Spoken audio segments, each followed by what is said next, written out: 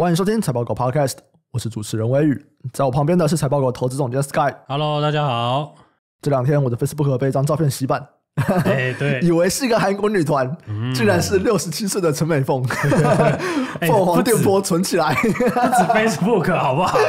赖大家都在传啊。真的，哎，真的萌，哎、真的，这就是科技的结晶啊！真的猛，就是不管是在人体的科技，还是在这个修图的科技，都真的猛。的确，这就是怎么讲，美图秀秀嘛。哎呀，我觉得不止哎、因为其实那个有些事情应该是无法修的啦。对啊，你说像我们就讲那个什么皮肤的光滑度，那个先不管，至少身材可能不会修那么多嘛，对不对？对，就是你六十七岁要保持这样的身材，真的很厉害耶！我不得不说，就是看得出来，就是美凤姐真的花了非常大的心力、时间啊、资源啊，就是在维持她的一个外表，这样真的很厉害。搭配了这个日新月异的科技，搭配了凤凰电波啊，他已经不是代言人了，然后一直我转。我怀疑，真的只有凤凰电波够吗？我觉得应该不够吧？对啊，哎、所以这个其实我觉得很好玩啦。台湾有很多这种相关的可以投资的。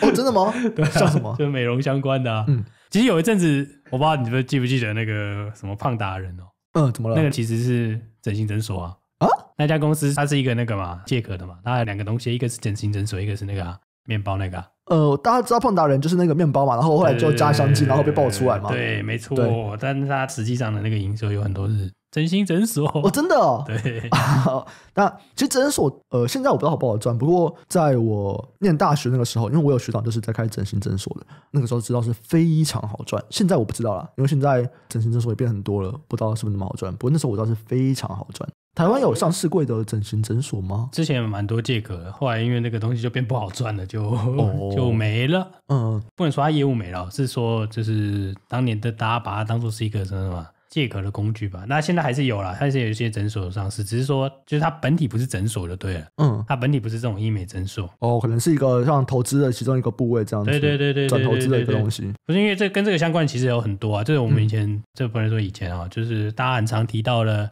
那些所谓的这种卖这些什么媒体啊、直销啊，其实是围绕着这个在、哦，在开展的。保养品啊，相关的护肤品。对对对，这其实很多，其实中国或台湾的直销很多都在这种。嗯对对啊，台湾在这边是不是比较多？是我们讲可能保养品，或者是刚刚讲的这个渠道直销的部分。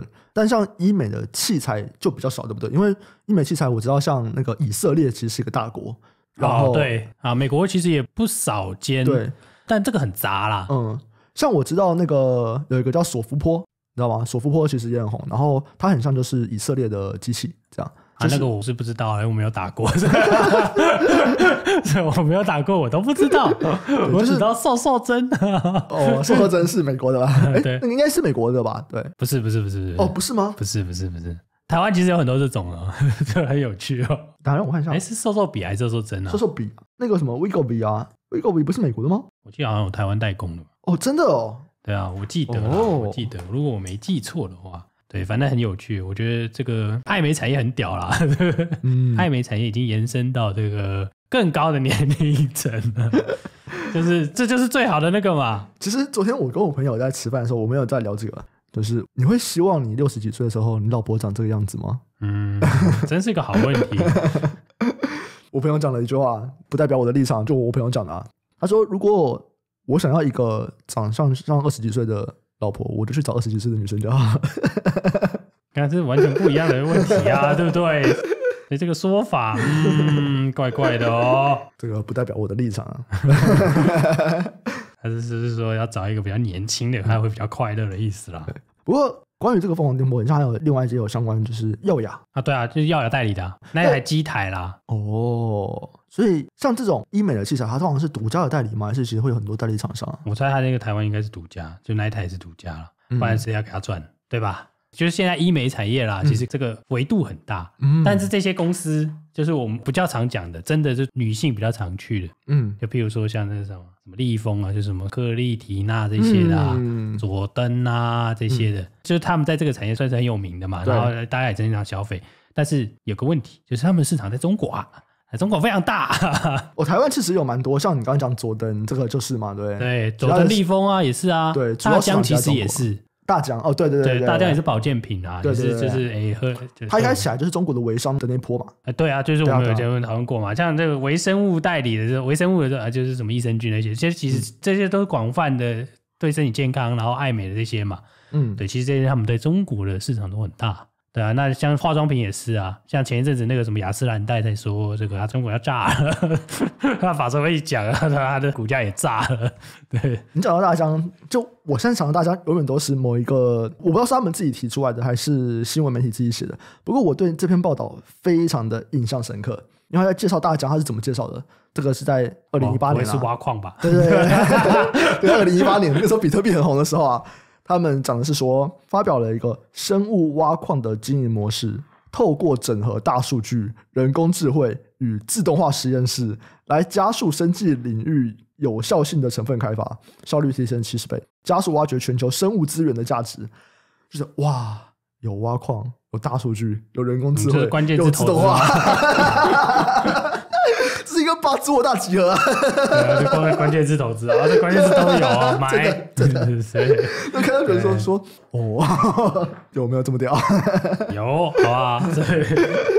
对啊，但我觉得他在传这个图两个意思啦，对，嗯。一个是你你女人永远都你说怎么，放这个图？女人永远都爱，我真的真的厉害，对，真的厉害，女人永远都会打扮自己啊，对对哦，对。对，这个钱大家都知道，所以大家都觉得好像很好赚，嗯，对，但台湾公司多数都是中国那边大家都占比都很高嘛，是，对啊，所以这个看起来大家最近不太好，原因在这里嘛，嗯所以大家就是想要说啊，我们去先进市场，我们去美国，哎，可是这个东西又很在地，嗯。每个地方红不红？哎，其实大家想想，这些都有点像直销嘛，或者说有点像，或者说有点像直销，有很多根本就是直销，嗯啊，有的都是微商，然后甚至是反正它就是需要一些人与人的推广，就是地推啦。嗯，对啊，所以这个商业模式以台湾的厂商来说，最近的逆风的状况比较严重了。哦，我们比较四块，因为我没有在用这个东西，因为我查了一下，一一发要十，用一次好像十万嘛。对对对，凤凰电波其实是这种微整，不管是电波、音波里面算是算算非常高级的。对，就听起来很好赚，但是这个需要时间去推广啦。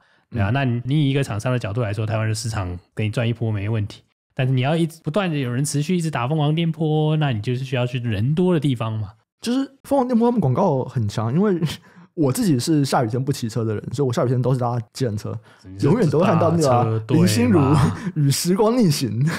哦，那对啊，那是搭车队吧？对对对，没错，大车队的广告，这个林心如的凤凰电波广告是非常的猖獗。对啊，反正 anyway，我觉得这个产业应该是一个经久不变的产业，只是它是它的梗有很多新的啦。是而且我记得在前一段好像有一段时间很红的是什么呃岩盘浴哦，啊，嗯，对啊，岩盘浴也是一个机台嘛，对。对，它其实就红外线嘛，红外线照一照这样子，对啊，所以我觉得这个诶蛮好玩的，对啊，真的真的，对啊，只是说台湾的这个厂商比较少啦，啊这可能真的比较拖的是比较偏什么护肤美容的这种，对对对，对对对有时候直接做机台的，这真的是没有，嗯，或者说我不知道啊，可能没上市这样。好像真的比较少，因为听过比较厉害的，像海福啊，嗯像我刚刚讲索福珀啊，像凤凰啊，这些都不是台湾做的，对啊对，这些都还是像我刚刚讲说，索夫波可能是以色列，然后可能在美国那边有一些，像你刚刚讲说那个红外线，其实医美诊所他们有他们的红外线，然后像有一台什么 Omenlux，那个也是在美国，你说的那种是那个吧？就是比较，哎，反正它波长还是有点不一样嘛。它在就是红外线跟近红外线哦对那边去做一种就是照射，因为我最近有一点想要去用法令纹，所以我稍微来看嗯到底要用什么东西。哦，你这个凤凰电波，对啊，可凤凰电波很像对法令纹没有太大帮助，我不知道啦。如果我知道的，哎、欢迎推荐一下好不好？哦如果推荐什么医生，哎、推荐我一下。这个我真的不懂，好吧？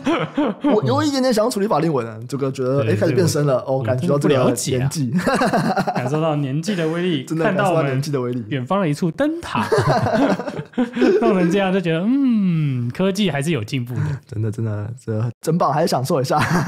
对，实在是太厉害了。另外一个科技进步很大的，我们来进到一个电动车，这也是一个科技啊。没错，就我们这礼拜看到了两间国外车厂的发售会，福特跟通用汽车。我们先讲通用汽车好了，通用汽车他就直接在讲，他就说未来啊，一定就是全电动，而且是什么以科技为中心，technology centric。从 GM 总中讲出来这个，觉得有点 有个错的感觉啊，是有错的味道吗？怪怪的。对啊，所以这个我觉得没一定没有错，还没有讲错啊。他们讲的很直白哦。他说我会这样说，就是纯电动或者是科技为中心，不是因为对环境对社会友善，是因为它是一个很棒的商业模式，它帮我们开启了新的获利成长的契机。哦，这个说法很正确。这就有一点让我像那个啊，B M W 不之前都会说什么锁各种功能嘛，要各种订阅制啊什么的，然后被骂，然后再说哦，不然我开放怎么样？也是有点像这个样子，对不对？就是大家先尝试啊，而且它不是所有订阅制它都全部开放啊。对，它就是不同国家它，不是啊，而且它有赚头的，它就没差、啊，有人买嘛。嗯对啊，我觉得那就是一个，我简单说，这种新市场就是有给你测试的机会嘛。哎哎啊，反正不行啊，不行就收掉啊，那成本又没多赚很多。如果成功了，你不是大赚？没错对啊，所以在讲电动车，我觉得可以从两个角度去看啊。第一个当然就是我们现在在讲的这种就能源驱动的方法，到底是燃油还是电池、嗯这两种。可是有另外一个方向，也是车厂之所以对于电动车或者是这种比较多科技啊，或者用电更多的这种东西感兴趣的是，哎，那我有更多的软体应用在里面，我是不是就有更多收费的机会？对对，看起来通用汽车他们是很哇，就觉得这个很棒。对啊，没错啊，只是说这个论述在之前都是对的。对对，然后是最近太贵，大家觉得你太贵，不想鸟你，那错那那你可能就是又要削减一下，没错对，那等你的这个采用的人数或是买车的人数到达新的高峰的时候，你就可以再推行新的东西了，嗯，对啊，这也是另外一件像 Ford 他们在讲那个，他们直接讲说是 early adopter to early majority 嘛，对，这有点像是那个产品的生命周期嘛，对。我一开始有个早期，龙卷风暴，对，没错，就是跨越横沟的这个东西。我每一个新的世代或者新的产品出现的时候，一开始会有一个早期采用者，这些人就是我就是想要去使用新科技，这样。所以我可以贵一点，对他们这些人比较不在意价格，反正新东西我都想试试看。那他说，现在电动车市场已经快要跨越这个早期采用者，要到早期大多数了。也就是说，它快要跨入到一般消费者都会想要使用的一个阶段。在这个阶段，价格就变得很重要，因为他们就不会因为说这个东西新潮，我就愿意付更多的钱。没错没错，就是就是我觉得这两个这个法说会他们这样提到的啦，那我觉得就是可以很印证现在是市场的状况嘛，现在就是太贵了，你电动车的 premium 大家不愿意付，没错，然后大家就在等它降价嘛。那为什么要大家等降价？因为就是这些已经不是那种那么尝鲜的人了。没错。对啊，我就是实用，对我我就是要用。所以我觉得这件事情也可以再回到我们之前其实在讲说，哎，大家最近不太买车，一部分是因为利率嘛，对不对？是那会不会有一个想法是说，虽然有可能不会降，可是万一再降息，是不是这个电动车的价格可能会回来？哎，福特就跟你说，如果是这个论述，就是不会。嗯，对，我们的电动车就只会看到价格持续的下降，因为它已经要进入到大众市场，这种时候价格是重要的。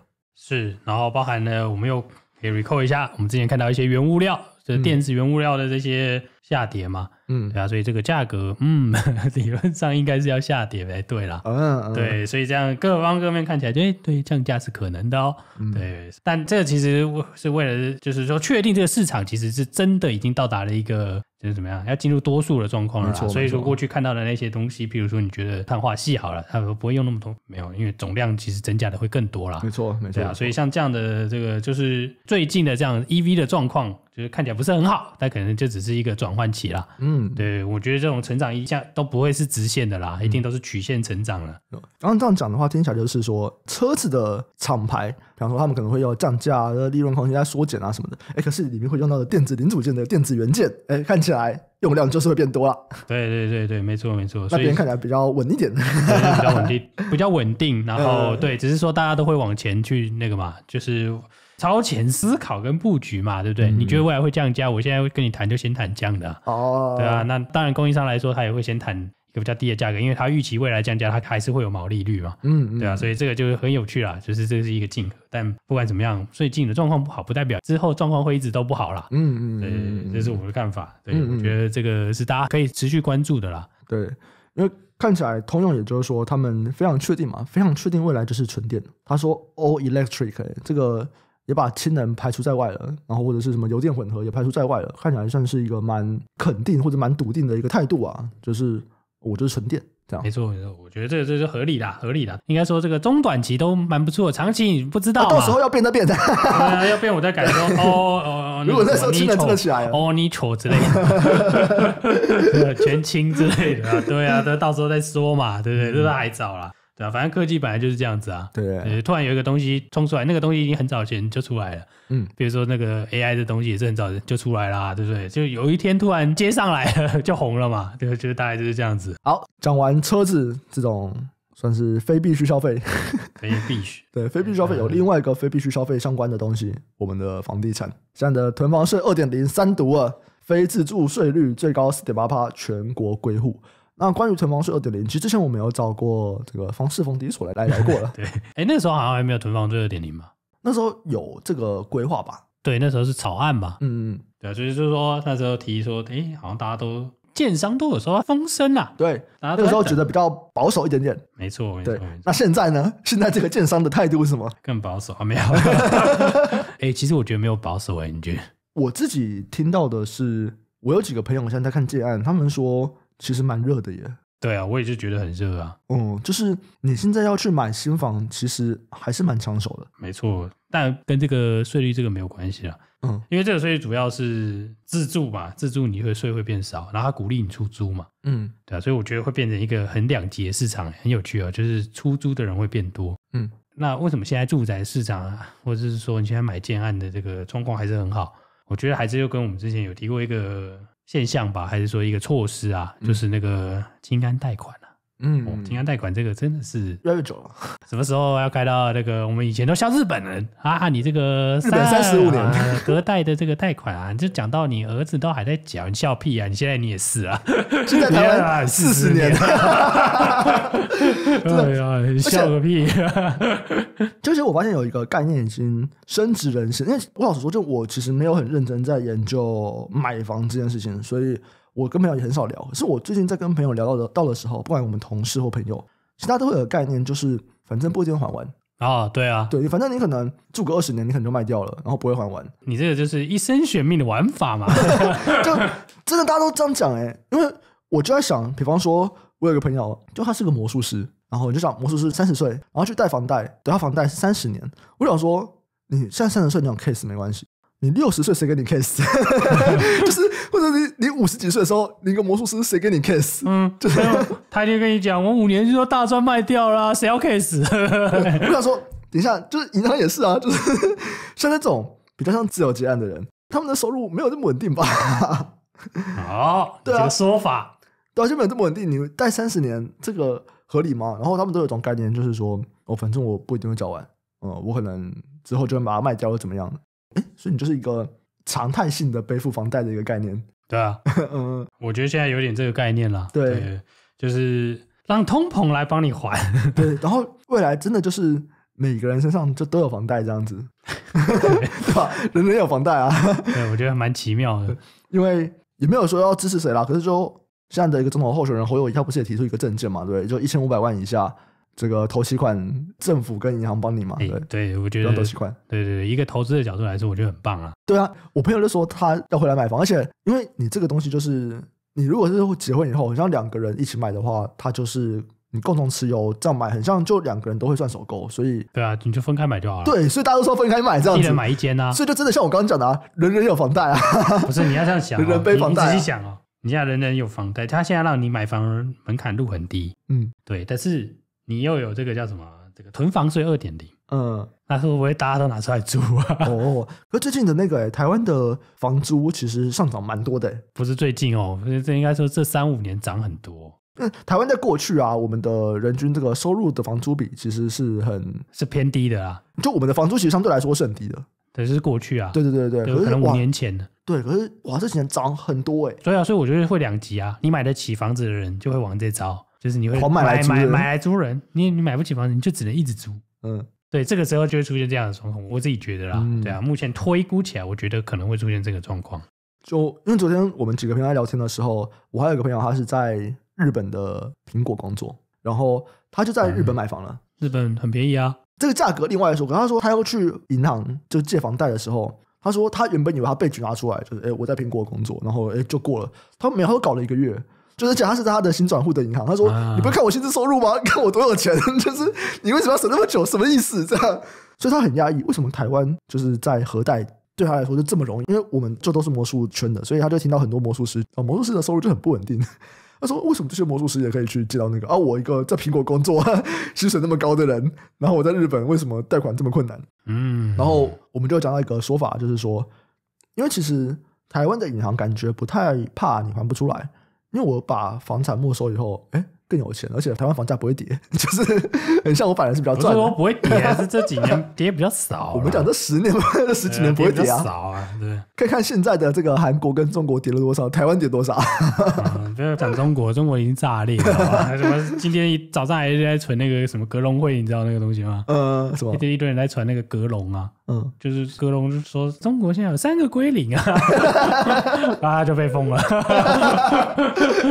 他说我的房价、人流、物流、金流都归零了，我说我靠，这个死定了。这个马上被查水表了。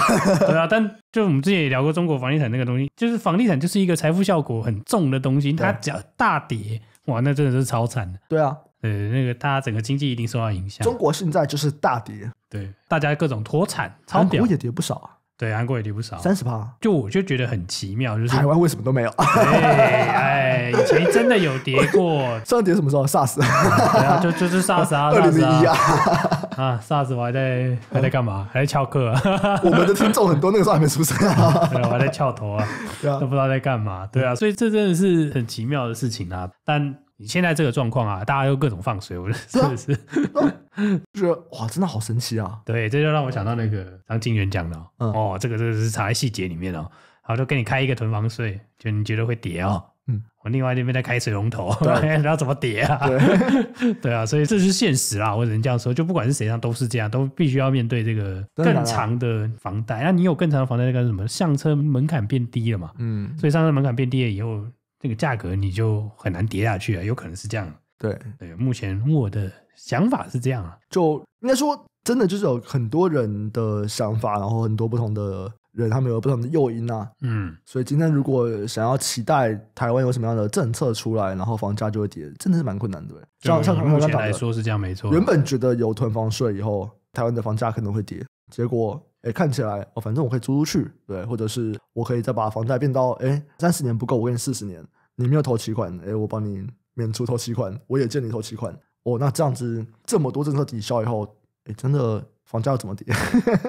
对啊，因为 因为这是一个很高杠杆的东西啊，所以嗯你免租投期款其实跟美国那时候二零零八年是一样的啦。嗯，当然这个我不知道会不会成真，但不管怎么样，就是这些东西过去都出现过，所以它的走向你其实大概也猜得到就会长什么样子。嗯嗯，对，所以这个这个是可也不能说这样子就会爆炸啊，因为台湾人还是不会啊，不一定会爆啊，不一定会爆啊。就台湾买房所有的东西都是这样子啊，就是过去有爆过，不代表现在会爆嘛，因为嗯很多东西都是需要一个连锁效应的啊、嗯嗯，对啊，大家也不觉得那些银行会倒啊，对不对？对，对啊，美国就给你升到五六趴，你就试试看会不会倒啊？嗯 对啊，有人就倒给你看嘛，对，就是这样啊，对啊，所以我是觉得，就是以目前这个状况来说，通房二点零看起来，大家在台面上是说觉得这个会抑制房价，但实际上就是这些新的贷款的这些政策，我觉得是真的会撑住啦，甚至我觉得也还有可能把它往上顶诶。嗯对，所以这是我们觉得跟市场比较不一致吧，或者是说这可能是一个看法提供给大家了，对啊。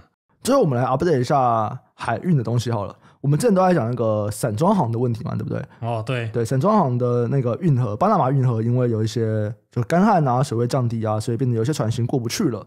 啊，之前在讲的是这边，哎，可是现在看起来货柜行他们的报价也在涨啊。哦，对，就是欧洲线的嘛，对，嗯，这个是为什么？因为这边有看到说他是创下疫情以来最大的涨幅，哎，没错，就是因为那个啊、是因为也门的叛军无差别攻击经过了船，哦，就是海贼王啊，你懂海贼王时代来了。就是有大航海时代啦，你懂哦？对对，大航海时代来了以后，大家没有办法经过那个地方，无差别攻击船只。对，但要绕的地方，哎，也是好望角，所以那个地方现在很危险，大家知道了哦，除非你开的是战舰，好不好？对，所以就是因为这样短期攻击事件，所以让造成它的那个运价提高了，而且是欧洲线。嗯，哎，为什么他们要攻击这些船啊？没有啊，他就说他无差别攻击啊，都都为什么？为什么要做这件事情？我我也不知道，他的诉求是什么？我我也不知道他诉求是什么，就大家都不给过、啊，留下买路财啊，什么意思啊？就大家不可以过啊，就是类似这样的概念啊。嗯，对，但 anyway，反正我们只要知道说，就是那个地方现在就是所有行商不敢经过，嗯，所以造成了这个大家短期欧洲线的价格就拉起来嘛，嗯那所以这个大家就兴奋了。但我们还是必须强调了，这真的是短期的事件。那呃，不一定是短期的事件，我这样说好了，因为我不知道它判断多久了。嗯，对，但它的货柜行的供给跟散装行的供给比起来，还是货柜行还是差一些啦。差一些什么意思就是它的供给非常非常多，？OK，呃，因为它之前啊运价实在太高了，嗯对，所以这个造成大家都盖了新船嘛，那这些船会逐步出来了，嗯，对啊，那这个东西的，就是能不能抵消这么多的供给出来，我自己是觉得比较困难，因为它是欧洲线。哦，所以我这边稍微讲一下，你的概念是说，虽然今天就是有这个也门的叛乱的问题，导致一些货柜行他们的运力可能会受到影响，这边供给算是降低啊，对。可是因为之前有造了非常非常多的就是货柜船，所以整体来说，这个船只是多很多的。是对，那这样子到底供给有没有下降，其实不好说。对，其实不好说，但极短期这个无法调度的这个涨幅是一定会有的啦，嗯对啊，那会持续多久就是不知道。那这个战争的例子可能就是，比如说这个乌俄战争的这个状况，大家就可以看到嘛。一开始会先冲上去，然后后来就算战争持续，它也是会慢慢的掉下来。任何的原物料都是啊，没错，因为大家会调整嘛，我们不是傻了，对不对？对啊，所以就有可能是这样的状况了。我自己推估是这样子啦，嗯嗯嗯对啊，所以就对我觉得最近海上好像蛮多事情的，嗯嗯，因为沈庄行那个问题也还没结束嘛。哎，对，但是有放宽一些了。嗯，对，所以这个我觉得这很好玩啦，对，这真的就是跟着这个世界的变化在脉动的东西啦。嗯对，那也因为是欧洲线啦，因为其实上一次大涨是因为是美国线嘛，嗯，对啊，美国线造成其他地方的大涨嘛，嗯，对，所以这个两相比较啦，对啊，这两个的就欧洲重要线的影性不一样，响比较少。对啊，理论上是比较小，尤其是对台湾人来说啦。哦，台湾买比较多的还是在美国那边的东哎，西。对，因为运比较多在美国啦，嗯那所以美国的那个价格来说是比较好的。嗯嗯，对，那你运到欧洲，过去就是维持稳定嘛。那相比之下啦，价格是没那么高了。哦，过去啦，过去，因为有一阵子欧洲很惨啊，嗯跌到什么几百块而已吧。嗯，对啊，就是相比之下的那个量可能不太一样了。嗯对，但不管怎么样，就我就觉得是短期事件啦，他要一直打，人家还是会调整。对，哦我觉得打有点过分啦，这个不会有哪一个国家的想要去处理一下吗？所以叫护卫舰。对啊，对啊，嗯，我觉得应该会有吧，但不知道是什么时候了。嗯对，反正我觉得就会是一个比较短期的事件。嗯嗯，好，所以关于货柜行涨价这件事情，因为它短期嘛，然后带来它欧洲线影响就比较小，所以你觉得它也对于其他的一些，比方说第二层可能影响到的范围什么的，你都觉得还好，对了。我目前觉得还好啦，因为看起来就是他也不太可能出去嘛。嗯嗯我说他的那个冲突的范围就是限缩在，所以大家绕路嘛，所以其实跟那个散装行的意思是一样的啊、嗯就大家都是绕路。对，就是从这个状况来看，供给是变少了嘛。嗯但就是散装行的那个时候的新造船是没有很多的，那货柜船是新造船在这两年都还会陆续下水，所以这个形成了另外一种抑制能力就对了。哦，对，所以这个你期待说啊，看像上次一样这样喷爆，这个机会可能比较低一点啦。嗯对，好，那今天的主题就到这边。在结束之前，我突然想到一个东西，就是我们一开始在讲的关于医美相关的。其实我以前有看过一些相关的研究啊，就是长相优势的一个研究。那关于你长得比较好看啊，可能会有一些优势，不管是更友善的对待啊，或者是更信任啊，这个东西其实都已经有蛮多的研究在说明这件事情了啊。就是你长得好看，就是会有一些这样的优势。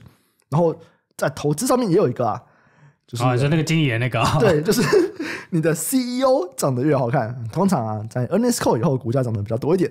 而且他们这个研究很有趣啊，就有说，你这个长得好看的 CEO 啊，要出现在电视上。如果你今天只透过文字，或者是只透过图片，哎，就不影响。但如果真的 CEO、他发布这个，哎，我们这个 big earnings，然后是出现在电视上，哎，这个公司的股价会涨得更多一点，这样。啊，这一定是国外研究啊，不是？对，是国外研究没错，没错，不是英国研究。啊？呃，不是，是美国的研究。哦，那可能有点意思对啊。有点意思，嗯，对，所以这个蛮有趣的啊，就是再次跟大家讲一下，这个医美是一种投资啊，是在投资自己，哦，下次医美就来夜配好不好？欢迎好不好？让我打个什么凤凰店铺，OK？凤凰电波嘞，打个瘦瘦比还比较有可能。哎、我不要，我不要，拜托不要。我这个最近矫正牙齿以后，真的吃的东西量变少，让我非常的困扰，我还是非常想要增重的。很简单的灌食，真的，我现在就是狂喝啊，狂喝一些流质东西，不然矫正牙齿吃东西好麻烦。不会。喂，不会，好，没问题我们今天的节目就到这边啊！喜欢听众记得按下订阅，并且分享给你的亲朋好友。那我们这集就上这边啦，我们下周再见，拜拜。拜拜。